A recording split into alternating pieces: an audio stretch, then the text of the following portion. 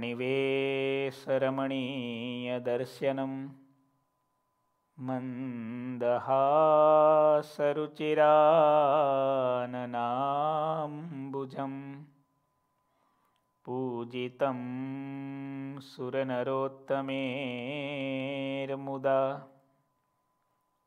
धर्मनन्दनमहं विचिन्तये ॐ अवतारिणे श्रीस्वामिनारायणाय नमो नमः श्रीसहजानन्दाय नीलकण्ठाय च नमो नमः શ્રીગુરુચરણકમલેભ્યો નમો નમઃ બોલો શ્રી સ્વામિનારાયણ ભગવાનની શ્રી હરે કૃષ્ણ મહારાજની જય. શ્રી ઘનશ્યામ મહારાજની જય. કથા સાંભળનારા બધા જ ભક્તોને ખૂબ ભાવથી જય શ્રી સ્વામિનારાયણ. શ્રી હરિચરિત્રામૃત સાગર પૂર છઠ્ઠું તરંગ ત્રેપનમું આદિગુરુ રામાનંદ સ્વામી અને ભગવાન શ્રીહરિ એમનું આ દિવ્ય મિલન જેતપુર ગામની ભાગોળમાં અલૌકિક સંવાદ ચાલી રહ્યો છે શ્રી હરિ કો જોઈ વિચરણ સ્વામી રામાનંદ સરાહત વારમવાર હિ પ્રસન્ન ભયે આનંદ શ્રી હરિ કો જોઈ વિચરણ સ્વામી રામાનંદ સરાહત વારંવાર હે પ્રસન્ન ભયે આનંદ સદગુરુ રામાનંદ સ્વામીએ ભગવાન શ્રીહરિનું આ સત્સંગમાં દિવસ અને રાત આશ્રિતોને સુખ આપવા માટેનું વિચરણ જોઈ વારંવાર પ્રશંસા કરી. અત્યંત રાજીપો દર્શાવ્યો. પછી તેમણે શ્રીહરિને હાથ જોડ્યા અને કહ્યું, અત્યારે આપણા સત્સંગ સમાન બીજું કોઈ નથી. ચારે ધામમાં ડંકો વાગી રહ્યો છે. આકાશમાં સૂર્યોદય થાય ત્યારે બધા તારાઓ સૂર્યના તેજમાં લીન થાય છે.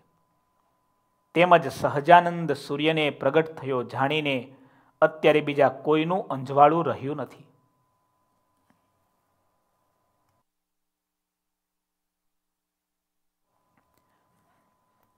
ગઈકાલે આપણે વાત શ્રવણ કરી હતી. સર્વોપરી ઉપાસના એનો પ્રારંભ સદગુરુ રામાનંદ સ્વામીએ કર્યો છે. આકાશમાં સૂર્ય આવે, ચંદ્ર ને તારાનું તેજ એમાં લીન થઈ જાય, એમ અવતારી પરબ્રહ્મ પરાત્પર પૂર્ણ પુરુષોત્તમ નારાયણ પ્રગટ થાય, ત્યારે અવતાર માત્રના તેજ એમાં લીન થઈ જાય. સહજાનંદ રૂપી સૂર્યોદય દેખીને બધા અધર્મી મતપંથ રૂપી ઘુવડ અંજાઈ ગયા છે. ઘુવડ સૂર્યને દેખી શકતા નથી. તેથી કંઈ સૂર્ય મિથ્યા નથી થતો. જે અધર્મનું સૈન્ય કહેવાય છે તે ક્યારેય ધર્મની સેનાને જીતી શકે તેમ નથી. અધર્મને દાવપેચ ઘણા આવડતા હોય. પણ તે છતાં ખરે સમયે તો તે નમી જ જાય છે, એટલે કે હારી જ જાય છે. એટલી વાત દાદા ચોક્કસ છે. તાકાત તો સત્યમાં જ છે. અસત્યમાં શક્તિ નથી, પણ આ કળિયુગનો પ્રભાવ એવો છે ને, એટલે માણસે માની લીધું છે કે સત્ય કરતા અસત્યનો રસ્તો કેવો લાગે લોકોને? સહેલો લાગે ઈજી લાગે. પણ વાસ્તવિક તમે સાચું ગણિત જો માંડો ને, તો સત્યનો રસ્તો સરળ છે, સુગમ છે અને સીધો છે. પણ આ કળિયુગની માયાની ઝાડ એવી છે કે પ્રવાહને લીધે દરેકને ખોટું કામ કરવું ગમે છે. ખોટો રસ્તો લેવો પસંદ આવે છે. ખોટે રસ્તે ચાલવું લોકોને સારું લાગે છે. આ માણસની અંદર પડેલો માઇક ભાવ છે. વાસ્તવિકતા બહુ એટલી સરસ આમાં વાત આવે છે. રામાનંદ સ્વામી કળિયુગમાં વ્યાપેલો અધર્મ એનું વર્ણન કરે છે. અને સાથે સાથે ભગવાન શ્રીહરિએ આ કળિયુગમાં ધર્મની સ્થાપના કેવી રીતે કરી? વાત તો સ્પષ્ટ છે. એક બાજુ અંધકાર છે, બીજી બાજુ અંજવાળું છે. અંજવાળું આવે દાદા, એટલે અંધકારીની મેતે ભાગી જાય છે. બસ, જીવનમાં આવી રીતે આપણા જીવનમાં જ્યારે ભગવાનની ભક્તિ આવે છે, ભગવાનની આજ્ઞાનું બળ આવે છે, ત્યારે ઓટોમેટિક આપણી અંદર પડેલું અંધારું એટલે કે અજ્ઞાન નાશ પામી જાય છે. કયું અજ્ઞાન? અસત્યમાં પ્રીતિ. અસત્ય પ્રત્યેનો ઢળાવ. ખોટા માણસોમાં લગાવ. પદાર્થનો ખોટો મોહ. આ બધું અજ્ઞાન એ તો નાશ પામે છે. ગીતામાં અર્જુને ભગવાન શ્રી કૃષ્ણને પ્રશ્ન પૂછ્યો છે. અનિચ્છન્નપી વાર્ષ્ણેય બલાદિવ નિયોજિત અથ કેન પ્રયુક્તોયમ પાપમ ચરતી પુરુષ. અનિચ્છન્નપી વાર્ષ્ણેય હે પ્રભુ, ઈચ્છા ન હોવા છતાં પણ નથી કરવું તેમ છતાં પણ ઘણું કામ થઈ જાય છે. પાછળથી પશ્ચાતાપ થાય છે એનું કારણ શું? અંતરમાં ઊંડે ઊંડે સત્યનું બીજ પડ્યું છે. પણ એ સત્ય હજી બહાર પ્રગટ થાય, એના પહેલા અસત્યને દબાવવા માટે મહેનત કરે છે. એટલે અંતરમાં ચાલતું મહાભારતનું યુદ્ધ એનું જ આ ઉદાહરણ છે. વચનામૃત પ્રથમનું સિત્તેરમું. એક વિષય ભોગવવાની હા પાડે છે, એક વિષય ભોગવવાની ના પાડે છે. મહાભારતમાં જેવું મોટું યુદ્ધ મંડાયું છે, એવું મોટું યુદ્ધ માણસના હૃદયમાં પળ પળ ચાલી રહ્યું છે. તુહી પાંડવ, તુહી કૌરવ, તુહી રાવણ, તુહી રામ, હૈયાના કુરુક્ષેત્ર પર પળ પળનો સંગ્રામ. માણસના હૃદયમાં એક મોટું યુદ્ધ ચાલી રહ્યું છે. એટલું મોટું યુદ્ધ. તમે ડાયા હરિભક્ત છો. આ કથા સાંભળનારા હરિભક્તો હવે સરસ આપણી યુવા સભાનો કોર્સ, સિલેબસ, તમે વચનામૃતની એક્ઝામ આપી. પ્રથમનું સિત્તેરમું વચનામૃત આપણે એક્ઝામમાં રાખ્યું હતું. વાલા ભક્તો, કરવા જેવું જ આ છે. કરવા જેવું આ છે. મહારાજને ઓળખવા, મહારાજના એકાંતિક સત્પુરુષો એને ઓળખવા. એને ઓળખવા માટે આ કથા વાર્તા, આ સત્સંગ એને વારંવાર શ્રવણ કર્યા જ કરીએ, કર્યા જ કરીએ, આ કરવાનું છે. જ્યારે આપણને ખબર પડી જાય ને, આપણે કોણ છીએ? આપણે શા માટે છીએ? ત્યારે દાદા એને બીજું કંઈ કહેવું નથી પડતું. મુસીબત તો મોટી એ છે, ભગવાનને ઓળખવાની વાત તો દૂર. વચનામૃતમાં મહારાજ બોલ્યા, જોનારો પોતે પોતાને નથી જોતો, એ મૂરખમાં અતિશય મૂરખ છે. આવા મોટા મૂરખના સરદાર તો આપણે બધા છીએ. અને વાતો કરીએ છીએ મોટી જ્ઞાનની. કહેવાય છે ને, એક મણમાં ચાલીસ શેરની ખોટ છે. કેટલી ખોટ? મણમાં ચાલીસ શેરની, અર્થાત સોમાં સો ટકાની ખોટ. તો રહ્યું શું દાદા? હાથમાં રહ્યું શું? એટલા માટે આપણા શાસ્ત્રોએ એટલી સરસ વાત કરી. પુત્ર કલત્ર સુમિત્ર ચરિત્ર ધરાધન ધામ હે બંધન ઝીકો. આ બધી માયાની ઝાડ છે. પુત્ર કલત્ર, પુત્ર એટલે દીકરો, કલત્ર એટલે પત્ની. ન સમજાય તો આ બધી માયાની ઝાડ છે. અરે એ નહીં, આ મંદિરો, આ સમયા, આ ઉત્સવ, આ બધું માયાની ઝાડ છે. અરે આ કથા વાર્તા એ પણ જો અણસમજણથી થાય. કથાને કીર્તન કહેતા ફરે છે. મુક્તાનંદ સ્વામી ગાયું ને? કર્મ તણી જેમ કહાણી રે. એ શ્રોતાને વક્તા બેવો સમજ્યા વિનાના. ગોધો જોડાણો જેમ ઘાણી રે. શ્રોતાને વક્તા. સ્વામીએ કેવી મોટી આમ તો તમાશો માર્યો કહેવાય ને. ધોલ મારી દીધી, હા. જો સમજ્યા વિના, જાણ્યા વિના ભગવાનને રાજી કરવાનું તાન છોડીને મહારાજ અને મોટા પુરુષનો મહિમા છોડીને આ બધું સાધન થાય ને તો બધી માયાની જાળ છે. પુત્ર કલત્ર સુમિત્ર ચરિત્ર ધરાધન ધામ હે બંધન જીકો બારહી બાર વિષય ફલ ખાત અઘાતન જાત સુધારસ ફીકો. આ સત્સંગ અમૃત સમાન છે. આ અમૃત સમાન સત્સંગને છોડીને આ બધા વિષયના પ્રપંચ ઝેર જેવા છે. એ ઝેરને પીવા તૈયાર થયો. આનવો સાન તજો અભિમાન કહ કહી સુન કાન, ભજો સિયજીકો પાય પરમ પદ હાથ સો જાત, ગઈ સો ગઈ અબ રાખ રહી કો કરવાનું આ છે. આ સત્સંગ કર્યા પછી, આ કથા વાર્તા સાંભળ્યા પછી આપણી જાતને ક્યારેક પ્રશ્ન પૂછીએ. શું મને ખરેખર મહારાજને રાજી કરવાનું તાન જાગ્યું છે. કોઈ માણસને જેલમાં પૂરી દો અને જેલમાંથી નીકળવા માટે કેવો અધીરો બન્યો હોય એમ આપણને આ જન્મ મૃત્યુનું ચક્ર બંધનરૂપ લાગે છે ખરું? મુક્તાનંદ સ્વામીએ અદ્ભુત દ્રષ્ટાંત આપ્યું. બકરો હોય ને બકરો, એને રોજ લીલું ઘાસ નાખે ને એટલે કસાઈ સાથેને હેત થઈ જાય છે. બકરાને કસાઈમાં હેત થઈ જાય છે. મહાજન એને દુશ્મન લાગવા મળે છે. એ તો સૂકું ઘાસ આપે. પણ બકરાને ખબર નથી, આ ચાર દિવસ ચારો નાખશે અને પાંચમે દિવસ છરો ફેરવશે. એમાં માયાનો લીલો દેખાતો ચારો જોઈને, આ જગતની મોહ માયા જોઈને જીવ પ્રાણી માત્રની દશા પેલા બકરા જેવી છે કે એને કસાઈમાં ખાટકીમાં હેત થઈ ગયું છે. કેમ પાછો વાળો એને? આપણે આપણી જાતને વારંવાર વિચારીને જોયા કરવી જોઈએ. આત્મદ્રષ્ટિ કરતા શીખવું જોઈએ, આત્મનિરીક્ષણ કરતા શીખવું જોઈએ. મને જેમાં હેત છે, એ હેત એવું તો નથી ને?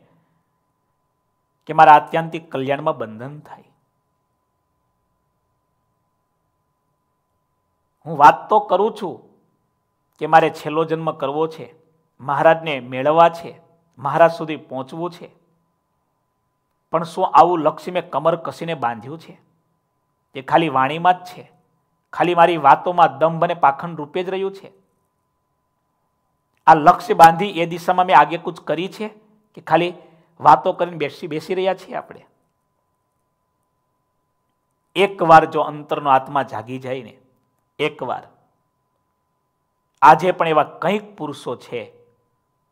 ઉઠ જાગ મુસાફિર, ભોર ભયો અબરેન કહા જો સોવત હે. માટે જાગીએ આપણે. કળિયુગનું જોર એવું ભયંકર વધી રહ્યું છે, એવું ભયંકર વધી રહ્યું છે. આખી દુનિયા સળગી રહી છે, તમે જુઓ. રાજા ભે દુખેયા હેરંક ભે દુખેયા ધનપતે દુખેત વિકાર મે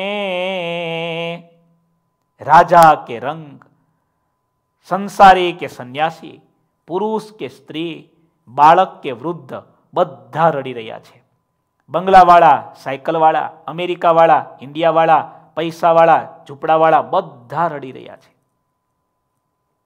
દુઃખનું કારણ સમજાતું નથી. દુઃખનું કારણ શું છે સમજાતું નથી. કારણ એટલું જ છે, અજ્ઞાન.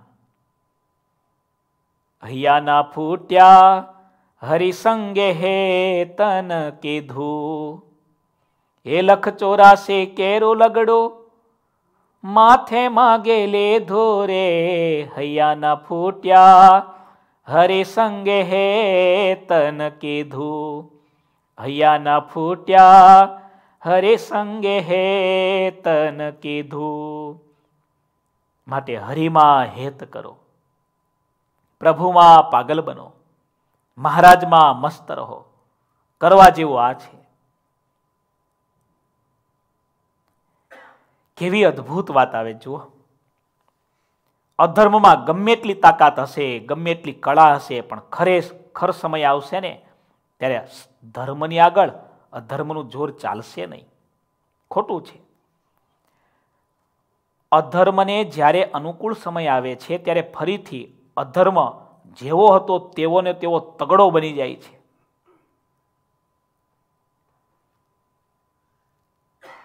આ અધર્મની ઓલાદ છે ને બધી આવી છે. એટલા માટે અધર્મીનો ક્યારે વિશ્વાસ ન કરાય. શાસ્ત્ર ના પાડે છે. માકડ હોય, અમેરિકામાં કોઈ ઘરમાં માકડ હોય ને, તે ઘરને કોઈ ખરીદે પણ નહીં, કોઈ ભાડે પણ ન લે. કારણ કે માકડ એક એવું તત્વ છે, એ માકડ કેટલા દિવસો સુધી અરે મહિનાઓ સુધી ખાવા ન મળે. હાવ ચીબાઈ ગયું હોય, બરાબર? કાગળ જેવું થઈ ગયું માકડ. અને એમાં જો એક લોહીનું ટીપું મળી જાય ને તો ટબ્બા જેવો થઈ જાય માકડ પાછો. અરે એવું કહેવાય, દાદા, માકડ મરી જાય ને, તો મરેલા માકડમાંથી પણ એના તત્વોમાંથી એવા છે, બીજા પાંચ માકડ ઊભા થાય, બોલો. હવે એને કેમ ખલાસ કરવો? જે મર્યા પછી બીજા પાંચ પચીને જન્મ આપી શકે, એ તત્વને તમે નાશ કેમ કરી શકો? અધર્મ આવું છે. અધર્મને ઓળખવો એ અઘરો છે. આ કળિયુગમાં ચારે બાજુ અધર્મ એટલો બધો વ્યાપી ગયો છે, કેમ ઓળખીશું? બસ ટૂંકમાં આપણે સાવધાન થયા, શાસ્ત્રોને રોજ સાંભળીએ. સાંભળ્યા પછી અંતરદ્રષ્ટિ કરીને વિચારીએ, તો આપણને ખબર પડશે, રખીને આપણામાં ક્યાંય અધર્મ તો પ્રવેશી નથી ચૂક્યો ને. આપણે અધર્મના શિકાર તો નથી બની ગયા ને. આ જ સાવધાન રાખ, સાવધાન થઈને જોવાનું છે આપણે.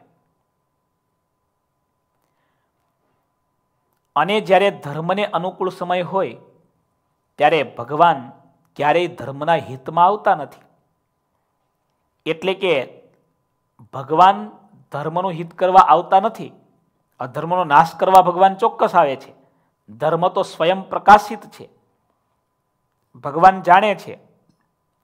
ભગવાનની રક્ષા નહીં કરે છતાં ધર્મ પોતે બળવાન બની જ જશે. આવી બધી અનાદિકાળની રીત છે. જ્યારે જ્યારે અધર્મ વધારે પડતો બળવાન થાય, ત્યારે ત્યારે ભગવાન પ્રગટ થાય છે. જ્યારે ધર્મનું બળ વધારે પડતું હોય, ત્યારે ભગવાન અવતાર ધારણ કરતા નથી. ભગવાનને ધર્મ ઉપર બહુ હેત છે. તેથી ધર્મનો લોપ થાય, તેને ભગવાન સહન કરી શકતા નથી. તે જ કારણથી ભગવાન ધર્મના હિત માટે અવતાર લે છે. એમ કવિ વારંવાર કહે છે, ધર્મમાં જે રુચિ કરવી તે તો સૌથી વધારે પ્રયાસ અને મહેનતની વાત છે. ફરીવાર વાંચું છું, ધર્મમાં જે રુચિ કરવી તે તો સૌથી વધારે પ્રયાસ અને મહેનતની વાત છે. પ્રયાસ વિના ધર્મ રહી શકે નહીં એવી ધર્મની રીત છે. પ્રયાસ વિના ધર્મ રહી શકે નહીં એવી ધર્મની રીત છે. તમારે કોઈ સારો પ્રસંગ હોય, સારા માણસને બોલાવવા હોય, રૂબરૂ મળવું પડે, આમંત્રણ આપવું પડે, પત્રિકામાં નામ છાપવું પડે, ત્યારે માણ માણે માણસ મળે છે. પણ તમારા ઘરે ચોરને બોલાવો હોય, તો આમંત્રણ પત્રિકા છાપવી પડે. કે છવ્વીસમી જાન્યુઆરી રાતના સાડા બાર વાગે અમારે ત્યાં ફલાણા ફલાણા ભાઈ ડાબી બાજુની વિન્ડો તોડીને પધારવાના છે. આવી કંકોત્રી જાહેર કરવી પડે? એની મેતી આવી જાય છે. દુર્ગુણો છે, એ ચોર જેવા છે. ગમે ત્યાંથી, ગમે ત્યારે તોડી ફોડીને ઘરી જવાના. સદગુણો છે, સાહુકાર જેવા છે. ઘણી આજીજી કરીશું, મહેનત કરીશું, ત્યારે માણ માણ જીવનમાં સદગુણ આવશે. હજી એક વાત જાણવા જેવી છે. સદગુણ છે ને એ ભગવાન અને મોટા પુરુષની કૃપાથી મળેલી વસ્તુ છે. આપણી નથી. કૃપાનું ફળ છે. એના રાજીપાનું ફળ છે. એની મીઠી નજરનું ફળ છે. એમાં જો આપણે અહંકારી બનીશું, તો કૃપા ગુમાવી દેશું. કૃપા ગુમાવી દેશું, તો સદગુણો પણ જતા રહેશે. આપણી પોતાની પેદાશ આપણા અવગુણો છે. આપણા દોષ છે. સાગરની વાત ફરીવાર યાદ કરાવું. મહારાજ ઘણી વાર બોલ્યા છે સાગરમાં, આ દેહ અને દુનિયા એ દુઃખનું જ ધામ છે. આ દેહ અને દુનિયા દુઃખનું ધામ છે. એમાં જે સુખને શોધે છે, એ સુખનો માર્ગ જ ભૂલેલો છે. આ કથાનો સાર એટલો જ છે, આ દુનિયામાં કોઈને સમજાવવાની જરૂર નથી. સૌથી મોટા મૂર્ખ તો આપણે જ છીએ. આપણે જ બોલનારા સાંભળનારા બધા આવી ગયા આમાં. પેલા રાજાની વાત છે ને? રાજા હતો. એને તુક્કો સૂજ્યો. મંત્રીઓને કહ્યું કે આપણે ઘણીવાર સત્કાર કર્યો છે કે આપણા નગરનો સારામાં સારો કવિ, સારામાં સારો પંડિત, સારામાં સારો લેખક, સારામાં સારો વિદ્વાન. પણ આજે મારે આ નગરનો સારામાં સારો નંબર વન મૂરખ એનો સત્કાર કરવો છે. એવો મૂરખ તમે શોધી કાઢો કે એના કરતા ચડિયાતો નંગ આપણા નગરમાં હો ન જોઈએ.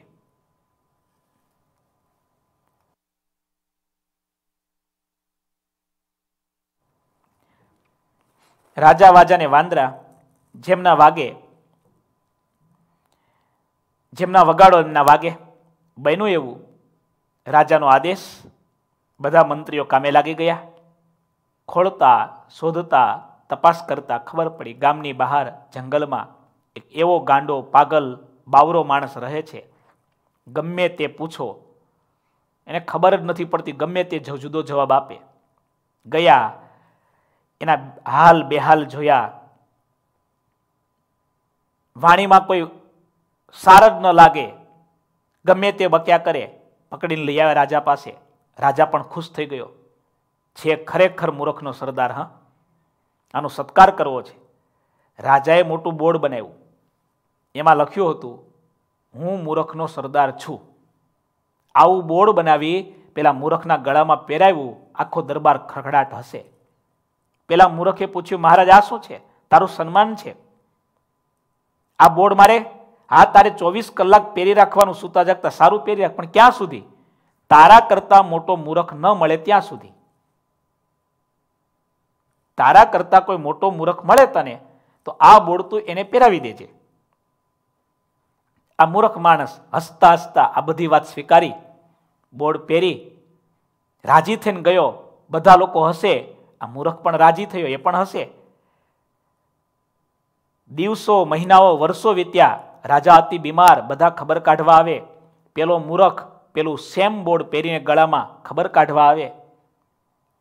રાજા મરણ પથારીએ છે. મૂરખને જોઈ હસી પડ્યા. અરે ભાઈ તું હા, મહારાજા સાહેબ, તમે મારું ઘણું મોટું સન્માન કર્યું છે. ઇલકાબ મને આપ્યો છે, એવોર્ડ મને આપ્યો છે, હું કેમ ભૂલી શકું? મહારાજ રડવા લાગ્યો મૂરખ. તમારી આ દશા જોઈ મને દુઃખ થાય છે? રાજા કે નહીં ભાઈ? બસ હવે મારે જવાનો સમય છે. એક દિવસ તો બધાને જવાનું જ છે. ત્યારે પેલો મૂર્ખ રડતો રડતો મહારાજનો હાથ પકડીને બોલવા લાગ્યો, મહારાજ, તમે જાઓ છો, મને જોડે લઈ જાઓ. મારે તમારી જોડે આવવું છે. રાજા હસવા લાગ્યો, અરે ભાઈ, એમ જોડે ન વાય. કેમ મહારાજ? આ રાણીબા તમારી જોડે આવશે, આ કુંવર તમારી જોડે આવશે, આ મહેલ તમારી જોડે આવશે, આ બધું જોડે આવવાનું છે. તમે મને કેમ નથી લઈ જતા? જીત કરી એણે. રાજાએ કહ્યું, આમાંથી કશું જોડે આવવાનું નથી. ત્યારે પેલા મૂરખે પેલું પાટિયું ગળામાં હતું ને એ ઉતારી રાજાના ગળામાં પહેરાવ્યું. રાજા કે આ શું કરે છે? તમે કહ્યું હતું ને, મારા કરતાં મોટો મૂરખ મળે ત્યારે આ બોર્ડ એને પહેરાવી દેજે. મહારાજ, આખી જિંદગી તમે એવી જ વસ્તુ ભેગી કરી, જે એક પણ વસ્તુ તમારી સાથે આવવાની જ નથી? ખરેખર તમને એક પણ વસ્તુ કામ લાગે નહીં, આવી નકામી વસ્તુમાં તમે જિંદગી ખર્ચી નાખી? મારા કરતા તો મોટા મૂર્ખ તમે છો. મેં કદાચ આ દુનિયાની સાહેબી, સુખ, સમૃદ્ધિ ભેગી નથી કરી. પણ મારી સાથે કામ લાગે એવી પ્રભુની ભક્તિ, મારા જીવનનો દિવ્ય આનંદ આખી જિંદગી મેં ભેગો કર્યો છે. હવે આપ કહો, મોટો મૂર્ખ હું કે મોટા મૂર્ખ તમે? મરતા મરતા રાજાની આંખ ખુલી ગઈ.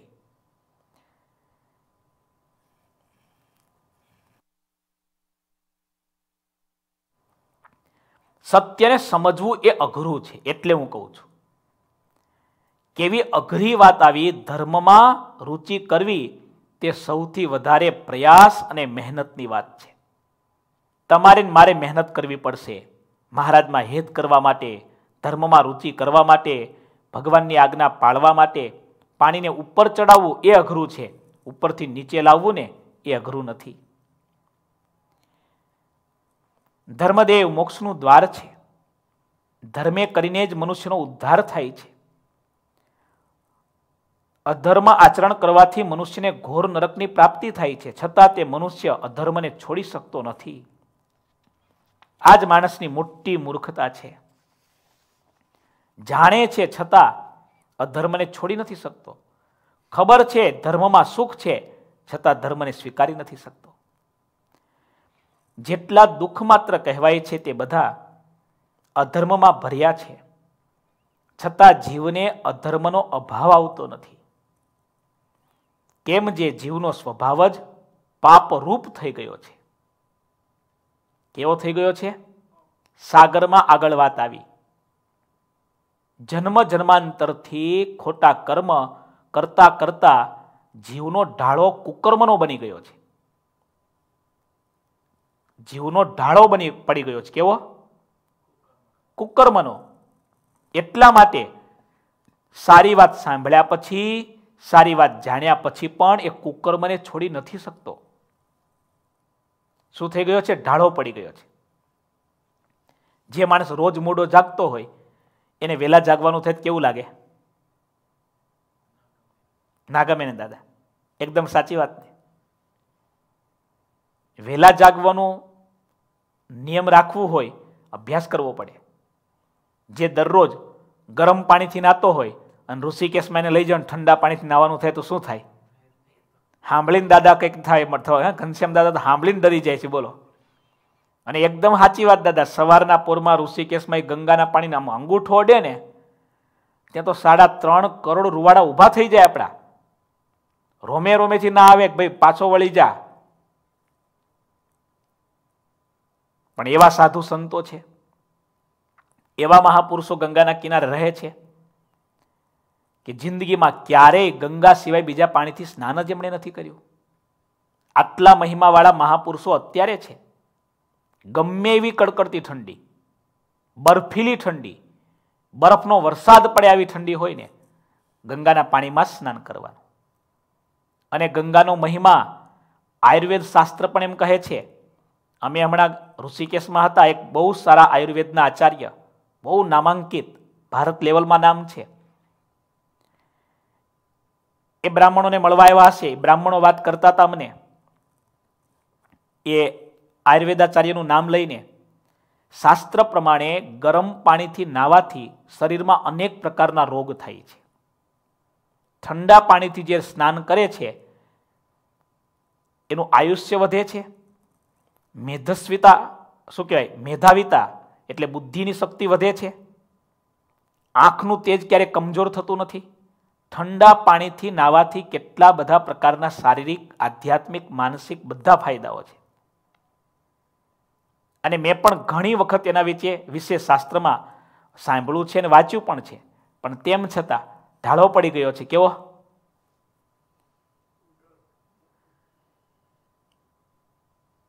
તમે શું, અમે પણ અઘરું પણ અઘરું લાગે?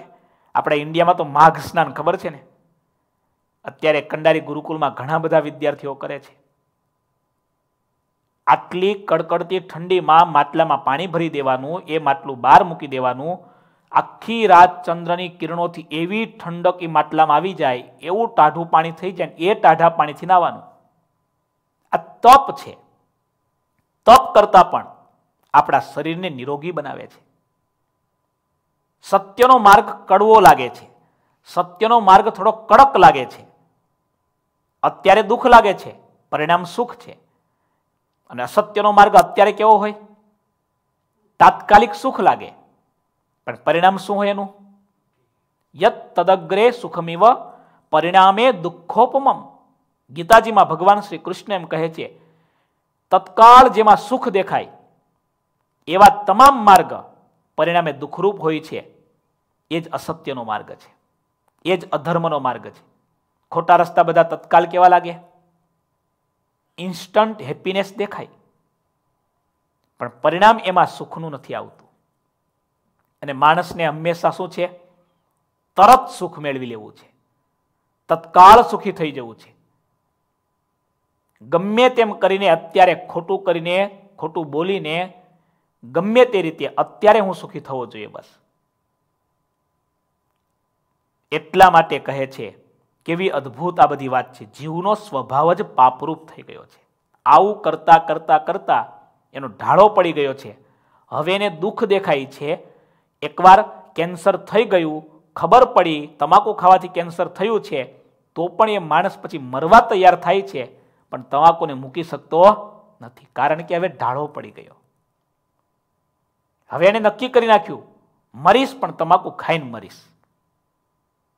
રીબાઈ રીબાઈને મરે. મરે તો ખરો, આખા પરિવારને, ફેમિલીના બીજા કેટલા બધા માણસોને, ઘરના પૈસાને, આર્થિક, શારીરિક, સાંસારિક, પારિવારિક બધા જીવનને ખલાસ કરીને મરતો જાય છે. માટે, એટલા માટે આપણે અભ્યાસ કરીએ, રોજ સાંજે વિચાર કરીએ આજે મારાથી મહારાજ કુરાજી થાય એવું તો કંઈ નથી થયું ને. મહારાજ રાજી થાય. શિક્ષાપત્રીમાં મહારાજે આજ્ઞાઓ કરી છે.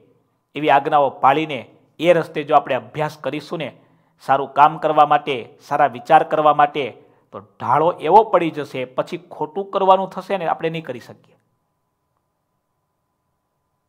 આપણાથી થશે જ નહીં.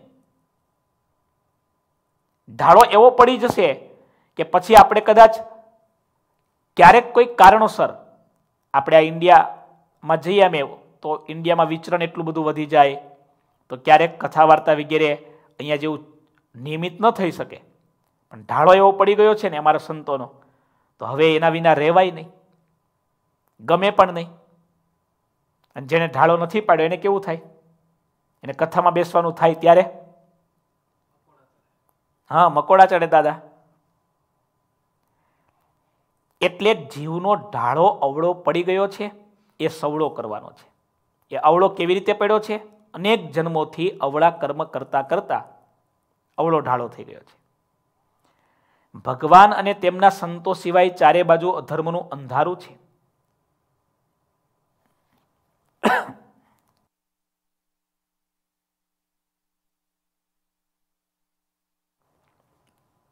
જીવને તેમના સિવાય કોઈ શુભ માર્ગ બતાવનાર નથી. વિપ્રો ભલે વેદ અને પુરાણોને વાંચે છે, તો પણ તેમને મોક્ષ માર્ગ જાણ્યામાં આવતો નથી. અધર્મમાં અપાર અવગુણ માત્ર ભરપૂર પ્રમાણમાં ભર્યા છે. છતાં પણ માણસ સુરવીર થઈને અધર્મની સાથે પ્રકૃતિ મેળવે છે. જુઓ તો ખરા, અધર્મમાં અવગુણ માત્ર રહ્યા છે, આમ જાણે છે, છતાં જીવ એની સાથે મિત્રતા કરે છે. અને ધર્મમાં અગણિત ગુણ માત્ર ભરપૂર ભર્યા છે. છતાં પણ માણસ ધર્મની સાથે જરાય પણ પ્રકૃતિ મેળવતો નથી. દુર્ભાગ્ય છે. ધર્મનું સ્થાપન કરવા માટે અને અધર્મનો નાશ કરવા માટે ભગવાન વારંવાર પ્રગટ થાય છે. છતાં પણ ધર્મને બદલે અધર્મ જ વૃદ્ધિ પામી રહ્યો છે. અધર્મનો માર્ગ નીચા ઢાળવાળો છે. હમણાં આપણે વાત કરીને પાણીની. અધર્મનો માર્ગ નીચા ઢાળવાળો છે. તેમાં નીચાણ તરફ દોડવામાં કોઈને શ્રમ પડતો નથી. અધર્મરૂપી નીચા માર્ગ તરફ દોડવાથી તો ઘણો જોરદાર દુઃખનો સમુદ્ર જ મળવાનો છે. જમપુરીના દુઃખમાં પડે છે, તેને કોઈ ફાયદો થતો નથી. આ બધું જાણ્યા પછી, જોયા પછી પણ જીવ એ તરફ ખેંચાય છે. આ જ મોટું અજ્ઞાન છે.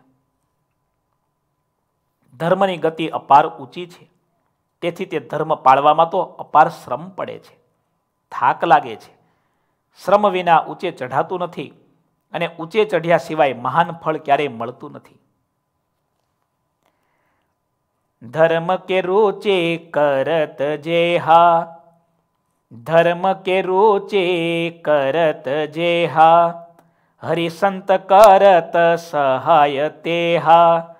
હરિસંત करत सहाय तेहा ध्यान से सुनिएगा फल को लोभ होवे मन जब हूं अति कठिन तो हूं तजेन तब हूं ધર્મ કે રોચે કરત જેહા જ્યારે માણસને ધર્મ પાળવામાં રુચિ જાગે છે સત્સંગી જીવન દ્વિતીય પ્રકરણ શ્રીજી મહારાજે એમ કહ્યું, ધર્મ પાળવામાં તો કલ્યાણ છે, પરંતુ માણસ મનથી સંકલ્પ કરે, હૃદયથી, અંતરથી કે મારે ધર્મ પાળવો જ છે.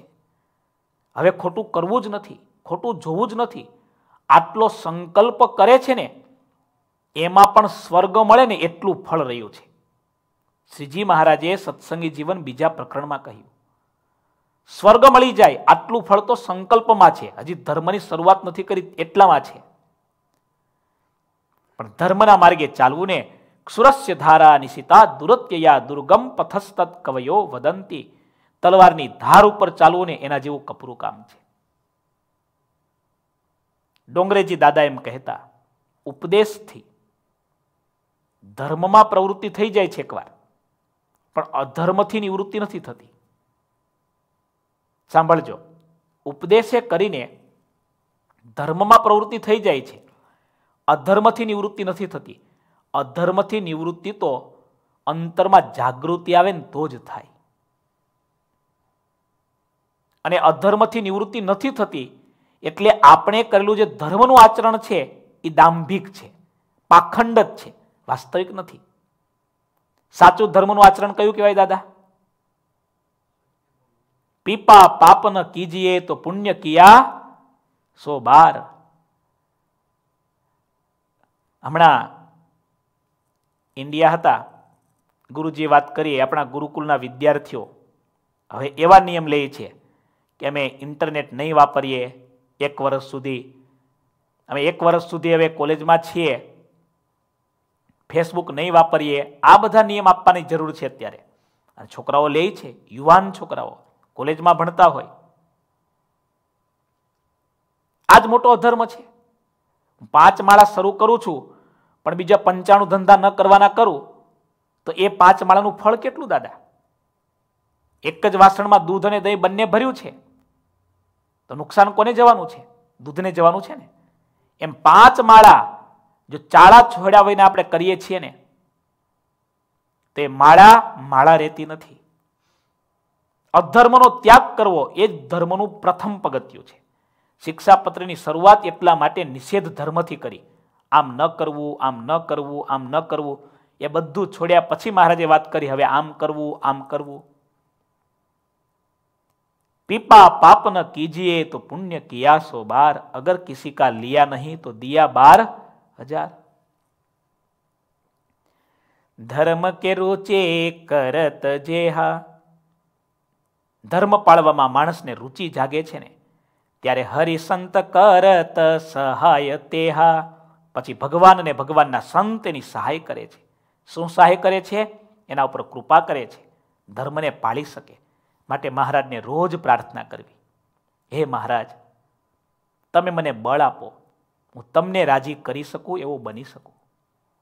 ભગવાન સાધન છે અને ભગવાન જ સાધ્ય છે. ભગવાન સુધી પહોંચવા માટે ભગવાન પોતે જ સાધન છે. એટલે રોજ પ્રાર્થના કરો, હે મહારાજ, મારી આંખથી, મારા કાનથી વાણી મેં ગુણ કીર્તને શ્રીજી મહારાજે નીલકંઠવર્ણી રૂપે પણ એ જ માગ્યું છે. મારી બધી ઇન્દ્રિયો, હે પ્રભુ, તમારી ક્રિયામાં પ્રવર્તે. મારી આંખ તમારા દર્શન કરે, મારી વાણી તમારા ગુણાનું વાદ કરે, મારા કાન તમારી કથાનું શ્રવણ કરે, એ સિવાયની બીજી જે વસ્તુ છે બધાનો ત્યાગ કરે. અદ્ભુત વાતો છે. મનમાં જ્યારે શ્રેષ્ઠ ફળનો લોભ જાગે છે ને, ત્યારે કઠણમાં કઠણ સાધન હોય, તો પણ તેને તે છોડતો નથી. જેને સર્વોપરી સુખ મેળવવું હોય. સર્વોપરે સુખ પાવના જોવું. સર્વોપરે સુખ પાવના જોવું. શ્રમ બેન કહા સે મિલે સોવું શ્રમ બેન કહા સે મિલે સોવું જેણે સર્વોપરી સુખ મેળવવું હશે તેને પરિશ્રમ તો કરવો જ પડશે નો પેઇન નો ગેઇન મહાન વસ્તુ મહેનત વિના ક્યારેય પણ મળતી નથી મહાન વસ્તુ મહેનત વિના ક્યારેય કોઈને મળતી નથી નક્કી જ છે સર્વોપરી સુખ જોઈએ છે, તો પરિશ્રમ કરવો પડશે. કયો પરિશ્રમ? ધર્મ પાળવાનો, મહારાજની આજ્ઞામાં રહેવાનો. પરિશ્રમ વિના સુખ ક્યાંથી મળશે? જે સત્સંગ કરે તેને કલ્યાણ પામવામાં લેસ માત્ર પણ શ્રમ નથી લાગતો, પણ તે સત્સંગને કાયમી ટકાવી રાખવામાં જ શ્રમ છે લો. બીજા બધા શ્રમનો જો વિચાર કરવામાં આવે ને, તો આ સત્સંગ નિમિત્તેનો શ્રમ બિલકુલ સુગમ પડે. સાંભળો આ જગતના શ્રમ એનો વિચાર કરશો ને, આઠ કલાક જોબ બાર કલાક જોબ સોળ કલાક અમારા આશિત ભગતનો વિચાર કરું ને, અમે સંતો ક્યારેક થાકી જઈએ, ત્યારે હું આશિત ભગતને યાદ કરું કે અમારા આશિત ભગત બાર કલાક, સોળ કલાક હમણાં તો જોબ કરે છે સોળથી અઢાર કલાક. ઊભા ઊભા આખો દિવસ સ્ટોરમાં કામ કરે છે. અમારા મનમાં એમ થાય કે ભગત, ખાલી એક પેટ અને પરિવાર માટે જો આટલું કરી શકતા હોય આપણે તો આત્યંતિક કલ્યાણ માટે કરવાનું છે. મહારાજને રાજી કરવા માટે કરવાનું. કેમ થાકીશું? તો ચાલશે. બીજા શ્રમનો વિચાર કરે તો સત્સંગ નિમિત્તેનો શ્રમ તો એકદમ સુગમ લાગે. ગુણાત્યાનંદ સ્વામી કે જગતમાં જેટલો દાખલો કરે છે, એના દસમા ભાગનો જો મહારાજને માટે કરે ને, તો શ્રીજી મહારાજ પ્રગટ થઈ જાય. ક્યારેય ખપ વિના સત્સંગ થાય નહીં અને સંતો વિના ક્યારેક અખંડ ખપ ઉપજતો નથી. ખપ વિના સત્સંગ થતો નથી અને સંતના સમાગમ વિના ખપ જાગતો નથી. આવી કથા વાર્તા સાંભળીએ ત્યારે ખપ જાગે ખપ જાગે ત્યારે સત્સંગ થાય અને સત્સંગ થાય ત્યારે કુસંગ ભાગે અને કુસંગ ભાગે અધર્મ નીકળી જાય, ધર્મમય આપણું જીવન બની જાય ત્યારે મહારાજ આપણી સાથે છે જ, ભગવાન તો અંદર બેઠા જ છે. પણ આપણે એને અનુભવી નથી શકતા કારણ કે આપણું જ્ઞાન અજ્ઞાનથી ઢકાયેલું છે. આપણા દિવ્ય આત્મતત્વને, જગતના મોહ અને માયાના આવરણોએ ઢાંકી દીધું છે. કરવાનું છે આ, અધર્મને કાઢવાનો છે, કુસંગને છોડવાનો છે, પણ સંપૂર્ણ કુસંગનો ત્યાગ કરવા માટે શું કરવું પડશે? સત્સંગ કેવી રીતે થશે? ખપથી, ખપ કેવી રીતે જાગશે? સાચા સાધુની કથા વાર્તા સાંભળવાથી, સમાગમ કરવાથી. સાગરની આ બધી વાતો સ્ટેપ બાય સ્ટેપ વાતો, અદ્ભુત વાતો છે. એના ઉપર તો એટલું બધું ચિંતન મનન થઈ શકે. આ મુક્તાનંદ સ્વામીનું ગણિત છે. આ શ્રીજી મહારાજનું સાક્ષાત શ્રીમુખે પ્રગટ થયેલું ગણિત છે. સાધુનો સમાગમ કરે ત્યારે ખપ જાગે. ખપ જાગે ત્યારે સત્સંગ દ્રઢ થાય છે. સત્સંગ દ્રઢ થાય ત્યારે જીવનમાંથી કુસંગ ભાગે છે, અધર્મ નીકળે છે. અધર્મ અને કુસંગ નીકળે ત્યારે અંતર કાચ જેવું સ્વચ્છ અને નિર્મળ બને છે. સ્વચ્છ અને નિર્મળ બનેલા મનમાં મહારાજની મૂર્તિનો દિવ્ય પ્રકાશ ઝીલી શકાય છે. એ લાયકાત મળે છે. માટે સંતોએ જીવાત્માના સત્સંગના ખપનું પોષણ કરવું જોઈએ. પોષણ વિના અખંડ ખપના દર્શન થતા નથી. અમે અમારી સમજણ તમને કહી, તમારી સમજણ પ્રમાણે તમે કર્યું છે. આવી રીતે રામાનંદ સ્વામીએ કહ્યું. આવી વાતો કહીને સદગુરુ રામાનંદ સ્વામી ઘણા હેતથી શ્રીહરિના ચરણમાં પડ્યા. પછી તેઓ શ્રીહરિના ગુણ ગાતા ગાતા મહારાજની આજ્ઞા લઈ ગિરનાર તરફ ચાલતા થયા. બીજા લોકોએ સ્વામીને જોયા ખરા, પણ કોઈ ઓળખી શક્યું નહીં. આ તો મહારાજ અને ગુરુદેવનું દિવ્ય મિલન હતું. શ્રીહરિ અહીં ભાદર નદીએ પધાર્યા. સંતો હરિભક્તોએ નદીમાં સ્નાન કર્યું. જેતપુર ગામના હરિભક્તો હતા. તેમને સમાચાર મળ્યા. બધા ત્યાં આવ્યા. ફૂલના હાર શ્રીફળ બહુ લાવ્યા હતા. તેથી ફૂલહાર પહેરાવીને શ્રીફળ ભેટમાં અર્પણ કર્યા. સહુએ શ્રીહરિને દંડવત પ્રણામ કર્યા. શ્રીહરિના દર્શન થવાથી ભક્તજનોને મહાન આનંદ થયો. તે સ્થળે અપાર નરનારીઓ પૃથક પૃથક ટોળે ટોળા મળીને દર્શન કરવા આવ્યા. જેતપુરના ગામધણી દરબાર મહાભાવિક હતા. તેમણે શ્રીહરિની ખબર સાંભળીને પોતાની બધી સવારી તૈયાર કરી અપાર પ્રેમથી શ્રીહરિની સન્મુખ આવ્યા. દરબાર શ્રીહરિની પાસે આવ્યા, તત્કાળ ચરણમાં નમી પડ્યા, ફૂલહાર પહેરાવ્યા, શ્રીહરિના ચરણોમાં શ્રીફળ અર્પણ કર્યા. શ્રીહરિએ દરબારને પ્રેમભાવથી બોલાવીને કુશળ પૂછ્યા. તેમજ દરબારે પણ શ્રીહરિને કુશળ સમાચાર પૂછ્યા. એટલે તે અવસર એવો થયો, સહુના હૃદય આનંદથી છલકાવા લાગ્યા. દરબાર મ્યાના અને રથ વગેરે લાવ્યા હતા. તેમાં બધા સંતોને બેસાડ્યા, બીજા વર્ણિયોને પણ બેસાડ્યા. તેમને પણ રથ અને મ્યાનામાં બેસાડ્યા. તેથી તે વાહન ભરાઈ ગયા. કેટલાક મોટા મોટા પંડિત સંતો હતા, તેમને સુખપાલમાં બેસાડ્યા. આસિત ભગત, હમણાં જ અમે ઇન્ડિયા નીલકંઠ સ્વામી સાથે હતા. ઘણા વર્ષો પછી નીલકંઠ સ્વામી આવ્યા હતા. એમને ખાસ વડતાલમાં સારી રીતે દર્શન કરવાની ઈચ્છા હતી. અતિ વ્યસ્ત અમે હતા, તેમ છતાં એટલો સમય તો મેં કાઢી લીધો. શાસ્ત્ર પણ કહે છે, જે માણસને જે વાતની તીવ્ર ઈચ્છા હોય ને એ કરી જ નાખે. કલાક પણ મળે એવું નહોતું, પણ અમે સંતોએ એવું એરેન્જમેન્ટ કર્યું, ગમે તે રીતે અમે વડતાલ બે ત્રણ વાર ગયા. એમાં એક વાર સારો ટાઈમ મળી ગયો. અમે ત્રણ કલાક જ્ઞાનબાગમાં ગયા. ત્રણ કલાક દાદા. પણ આ વાતો આવે ને, રથ, મ્યાના, સુખપાલ, દરબારગઢ, ચાકળો, પાટ, ખાટ, હિંડોળા, હિંચકા, આ બધું આજના જમાનામાં હવે આપણે જોતા પણ નથી. શ્રીજી મહારાજના સમયમાં કેવું હતું?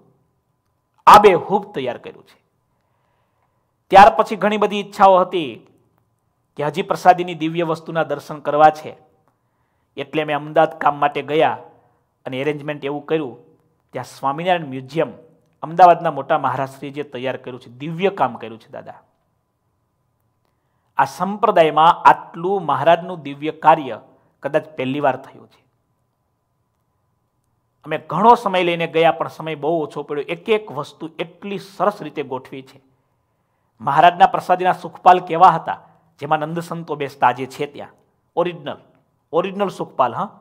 મ્યાના પણ આજે છે. આ વાત આવે ને અમને દેખાવા લાગે. હમણાં જ જોઈને આવ્યા છીએ ને. નિષ્કામ સ્વામીએ વાત કરી હતી ને, નંદ સંતો કેવી રીતે લખતા હશે? આપના મનમાં વિચાર થાય. કેવી રીતે લખતા હશે? હરિબળ ગીતાની કથા સમાપ્ત કરી તે દિવસે નિષ્કામ સ્વામીએ બહુ ભારથી વાત કરી હતી. નંદ સંતોની પ્રસાદીની કલમ આજે ત્યાં છે. કેવી રીતે કલમ વાપરતા એ ઓરિજિનલ આજે ત્યાં વસ્તુ પડી છે? એ કલમ રાખવાની ડબ્બી એ પણ ત્યાં ઓરિજિનલ છે. આપણા મનમાં એમ થાય કે આપણે આગળ વધ્યા છીએ. પણ આસિદભાઈ આ મ્યુઝિયમ અમે જોઈને આવ્યા ને હમણાં. બસો વર્ષ પહેલાં આજના કરતાં પણ સારી ટેકનોલોજી હતી એવું દેખાય આપણને. નિત્યાનંદ સ્વામીના પ્રસાદીના ચશ્મા છે ત્યાં ઓરિજિનલ એ ચશ્માની ફ્રેમ જોવા જેવી છે. બસો વર્ષ પહેલાંના ચશ્મા એની ફ્રેમ એ ચશ્માને મૂકવાનું પાકીટ, આજે પણ એટલું સારું કાર્ય આપણે ન કરી શકીએ, એવા કાર્ય બસો વર્ષ પહેલા થતા હતા. દરેક સમયમાં ભગવાન પ્રગટ હોય છે. દરેક સમયમાં બુદ્ધિશાળી માણસો તે તે અનુરૂપ કાર્ય કરતા હોય છે. બે મોટા હાથીને સોનેરી સાજ અને સોનાના ઘરેણા પહેરાવીને લાવ્યા હતા. તેના ઉપર સોનેરી અંબાડી મૂકી હતી. શ્રીજી મહારાજ વડોદરામાં જે હાથી ઉપર બેઠા હતા હાથીનો આખો શણગાર સ્વામિનારાયણ મ્યુઝિયમ અમદાવાદમાં આજે છે. યાદથીને પહેરાવાના ઘરેણા, માણકી ઘોડીના શણગાર, ઓરિજિનલ એવા ને એવા પ્રસાદીને આજે ત્યાં મૂક્યા છે. આપણે દર્શન કરીએ ને તો પણ શાંતિ થાય, હા. ભગવાન શ્રીહરિ તે સોનાની અંબાડી હતી તેમાં બિરાજમાન થયા. જેતપુરના દરબાર શ્રીહરિની પાછળ ચામર કરવા બેઠા. ચોપદાર બધા મળીને નેકી પુકારવા લાગ્યા. મુક્તાનંદ સ્વામીને ભૈરામદાસજી સ્વામી બીજા હાથી ઉપર બેઠા. દરબાર દાદા ખાચર અને દેહા ખાચર એ બંનેને સંતોની સાથે હાથી ઉપર બેસાડ્યા હતા. ડંકાને નિશાનો જે આવ્યા હતા તે બધા સ્ત્રીની આગળ ચાલતા હતા. વિવિધ પ્રકારના જે વાજિંત્ર લાવ્યા હતા તે બધા વાગવા લાગ્યા.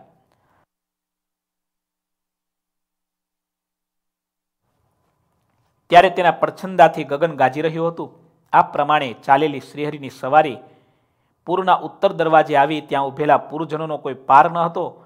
જ્યારે સવારી દરવાજામાં પ્રવેશી ત્યારે અપાર મસાલો પ્રગટાવી હતી. બધા રાજમાર્ગો સ્વચ્છ કરાવ્યા હતા. ઠેક ઠેકાણે કેળના સ્તંભ રોપાવેલા હતા. દુકાનોને સુંદર રીતે શણગારી હતી. બિલોરી કાચના ઝાડ બહુ જાતના પ્રગટાવ્યા હતા. મહારાજના સમયના કેવા દીવાઓ હતા દાદા. ઘીના દીવા, બિલોરી ઝાડ જેને કહેવાય, કાચની હાંડી જેને કહેવાય, એવી અદ્ભુત પ્રસાદીની બધી વસ્તુઓ આજે પણ સ્વામિનારાયણ મ્યુઝિયમ અમદાવાદમાં છે, આપણને દર્શન કરી આનંદ થાય. આ શાસ્ત્રો બધા વાંચતા હોઈએ ને, તો આપણને દેખાવા લાગે. એકવીસમી સદીમાં જ્યારે આ જૂની બધી વસ્તુઓ લુપ્ત થઈ ગઈ છે, ત્યારે કહેવાનું એ કે મહારાજના શાસ્ત્રો વાંચતા હોય ને આપણને ખબર પડે મહારાજના સમયમાં કેવી કેવી વસ્તુઓ હતી, કેવું કેવું જીવન હતું. દરેક દરવાજે મોતીના તોરણ બાંધ્યા હતા, તેની શોભા અદ્ભુત હતી. હરિભક્તો ઝાંઝને મૃદંગ વગાડીને પ્રેમરસ ભર્યા કીર્તનને ગાતા હતા. લોકો શ્રેયની મૂર્તિ વિના બીજું કંઈ દેખતા નહીં. મૂર્તિ મહાન રસરૂપ બની હતી. લોકોના ચિત્તને મૂર્તિ ચોરી લેતી હતી. દર્શન કરનારા લોકોને દર્શન કરવા છતાં તૃપ્તિ જ ન થતી. આવી મનોહર મહારાજની મૂર્તિ હતી. લોકો મૂર્તિની પાછળ પાછળ ખેંચાતા હતા. સ્ત્રીઓ મોતીના ભરેલા થાળથી અને પુષ્પોથી શ્રીને વધાવતી હતી. લોકો ખૂબ જ ગુલાલ ઉડાડતા હતા, લો. શ્રીહરિ રાજભવનમાં પધાર્યા, દરબારના મનમાં ઘણો હરખ હતો. તેમણે પોતાના સુવર્ણમય મહેલમાં ઉતારો કરાવ્યો. રાજભવનના મહેલમાં સોનાના હિંડોળા, સોનાનો હિંડોળો બાંધ્યો હતો. તેના ઉપર શ્રીહરિને પધરાવ્યા.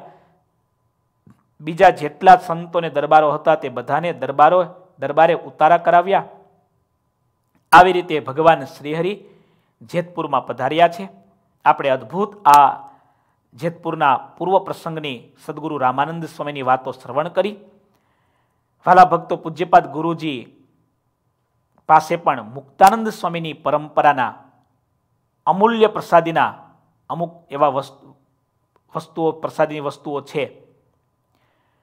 જેમાં મહારાજની હીરની નાડી કદાચ અમે દર્શન કરી છે, તમે કોઈ દર્શન નથી કર્યા, એવી નાડી અદ્ભુત છે.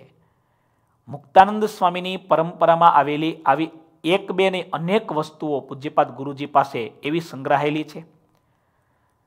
વર્ષોનો ગુરુજીનો એક દિવ્ય સંકલ્પ છે કે લોયાધામમાં મંદિર થાય, એ મંદિરના બેઝમેન્ટમાં આખું મ્યુઝિયમ તૈયાર થાય, એ મ્યુઝિયમમાં બધી પ્રસાદીની વસ્તુ એક એક સંતો ભક્તોને કાયમને માટે દર્શન થાય એટલે સુંદર મજાનું એવું મ્યુઝિયમ બનાવવું છે. જેનું કામ અત્યારે ખૂબ જ સારી રીતે ચાલી રહ્યું છે ઇન્ડિયામાં. આપ સર્વે ભક્તો જાણો છો, દેશમાં ગમે ત્યારે જાઓ હમણાં ઘણા બધા ભક્તો જનારા છે, જઈ રહ્યા છે. ત્યારે જરૂરથી તમે લોયાધામ પણ દર્શન કરવા જજો. ત્યાં ખૂબ સુંદર આ બધી વસ્તુ ચાલે છે. સંતોને પૂછી એની તપાસ કરજો. ભગવાન શ્રીહરિ આ પૃથ્વી ઉપર પધાર્યા. એમાં અનેક મહારાજના સર્વોપરીપણાના દર્શન આપણને થાય છે. એમની લીલામાં, એમના કાર્યોમાં, એમના પ્રસંગોમાં, જેમાં દાદા હમણાં વાત આવી, મહારાજ ઉપર ગુલાલ ઉડાડ્યો. હરિભક્તો ગુલાલ નાખતા ને નીચે પડતો ને તે ધૂળ પણ સંતો લઈ લેતા. એ મહારાજની પ્રસાદીભૂત ગુલાલ કે રંગવાળી, પિચકારીવાળી ધૂળ શ્રીજી મહારાજ શેરડી જમતા, છોતા નીચે નાખતા ને છોતા પણ લઈ લેતા. એ છોતા પણ આજે પ્રસાદીના છે. ઘણા બધા સ્થાનોમાં મળે છે. શ્રીજી મહારાજનું આનાથી મોટું બીજું કયું સર્વોપરી પણ? પ્રગટ મહારાજને જેણે સેવા છે, એણે શ્રીજી મહારાજના કેટલા દિવ્ય ચરિત્રો જોયા હશે. કે શ્રીજી મહારાજના છોતાને પણ જીવનું જતન કરીને સાચવી રાખ્યા. વાત સાચી ખોટી? તમે તમારા ઘરમાં સોનાના ઘરેણા બહુ ન સાચવી શકો. નવા નવા હોય ને સોનાના ઘરેણા. ત્યારે મહિનો, બે મહિના, વર્ષ, બે વર્ષ એનો બહુ ભાર હોય. પણ જેમ જેમ પછી ઘરેણા જૂના થાય ને પછી એનો ભાવ ઉતરી જાય. પછી ઘરેણું એની જગ્યાએ પડ્યું તમે તમારી જગ્યાએ પડ્યા હોય. એક બે આઘા પાછા થાય તો એ ઘણાને ખબર પડતી નથી. આ સંતોએ, આ ભક્તોએ મહારાજના નખ, વાળ, પ્રસાદના રંગની માટી પણ કેવી રીતે સાચવી કે આજે બસો બસો વર્ષ જતા રહ્યા છતાં એ માટી આજે મળે છે, એ ગુલાલ વગેરે મળે છે, શેરડીને દાંતણ એ પણ આજે મહારાજનું જમેલું મળે છે. કહેવાનું, આ મહારાજનું સર્વોપરીપણું અને મહારાજને જાણનારા એ મુક્તાનંદ સ્વામી વગેરે સંતો, એનો દિવ્ય મહિમા એના દર્શન થયા આપણને. એવો જ મહિમા આજે પૂજ્યપાદ ગુરુજીના મનમાં પણ છે. આપણને દેખાય કેટલા વર્ષોથી ગુરુજીએ પ્રસાદીની વસ્તુ કેવી રીતે સાચવી છે. અમે સંતો તો સાક્ષી છીએ. આપણને એમ થાય, મહારાજનો મહિમા આવો હોય ને એ સાચો મહિમા છે. મહારાજનો પ્રસાદીનો પલંગ, કારિયાણીનું વચનામૃત છઠ્ઠું, દિવાળીના દિવસે જે પલંગ ઉપર શ્રીજી મહારાજ બેઠા હતા, એ પલંગ કાર્યાણીમાં હતો. ગુરુજીને દર્શન કર્યા. ગુરુજીને ખૂબ ભાવ હતો. લોયા રહેવાનું થયું. કાર્યાની નજીક કાર્યાણીના દરબાર સાથે ગુરુજીને અતિશય હેતપ્રીત થઈ. કાર્યાણીના એ દરબારોએ આ મ્યુઝિયમ લોયામાં બની રહ્યું છે એના માટે શ્રીજી મહારાજ દિવાળીના દિવસે જે પલંગ ઉપર બેઠા હતા, દીપમાળા પુરાણી હતી. દીવ બંદરના પ્રેમબાઈએ જે મહારાજની પૂજા કરી હતી, એ પ્રસંગવાળો પ્રસાદીનો પલંગ ગુરુજીને અર્પણ કર્યો. આજે એ પ્રસાદીનો પલંગ લોયામાં છે, દાદા. એનો કેટલો મોટો મહિમા કહેવાય? કેટલો મોટો મહિમા ઐતિહાસિક પલંગ છે જે. જ્યારે દરબારોએ જાણ્યું કે આવું અદ્ભુત મ્યુઝિયમ અહીંયા બનવાનું છે, રાજી ખુશીથી એ પલંગ અર્પણ કર્યો. આજે લોયા ધામમાં છે. આવી અનેક વસ્તુ પૂજ્યપાદ ગુરુજી પાસે છે. જે લોયાધામમાં મ્યુઝિયમ બનશે, એમાં આપણને બધાને કાયમને માટે દર્શન થશે. તો વાલા ભક્તો આ તમને વચ્ચે જાણ કરી, મહારાજ જેતપુરમાં પધાર્યા છે. આગળની કથા આપણે સોમવારે શ્રવણ કરીશું. કાલે હરિજયંતિ છે, છવ્વીસમી જાન્યુઆરી છે, મંદિરમાં મહાપૂજા છે. તો બધા ભક્તો મહાપૂજા કરવા માટે પધારજો. બોલો ઘનશ્યામ મહારાજ.